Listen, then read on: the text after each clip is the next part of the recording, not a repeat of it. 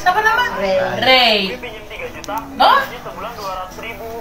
Ray Pasung dan ibu dari almarhum Andre akan tampil di televisi nih. Wah, pasti seru banget, guys. Ya guys, kembali lagi di mata-mata official yang di sini kita akan kembali membahas berita-berita yang lagi viral di media sosial. Iya guys, kedekatan Ray Pasung dengan keluarga dari almarhum Andre terlihat lebih dekat nih guys. Dan warganet pun dibuat senang dengan keadaan mereka sekarang. Dan kemarin juga Ray Pasung tampak kembali berkunjung ke rumah ibu dari almarhum Andre tersebut.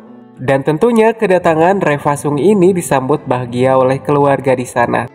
Dan dalam video terbarunya, Revasung mengatakan Alhamdulillah tadi malam Ray bisa main ke rumah mama dibarengi dengan emoticon senyum.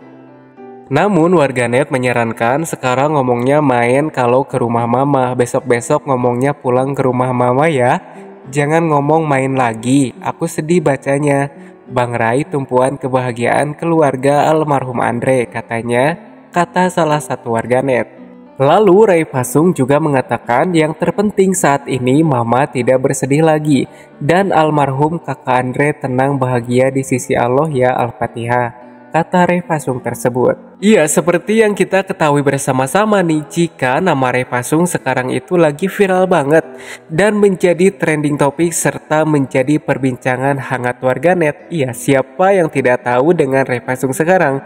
Pasti dari Sabang sampai Merauke pun sudah tahu dengan sosok Revasung tersebut. Nah, dikarenakan sedang viral-viralnya banget, Revasung beserta ibu dari almarhum Andre diundang oleh stasiun televisi nih dan mereka akan tampil di layar televisi.